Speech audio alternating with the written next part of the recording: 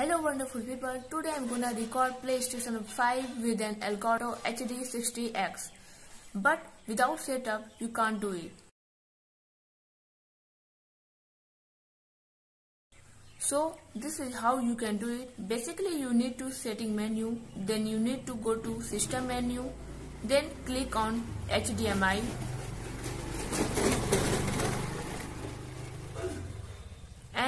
under enable HDCP you need to turn this off.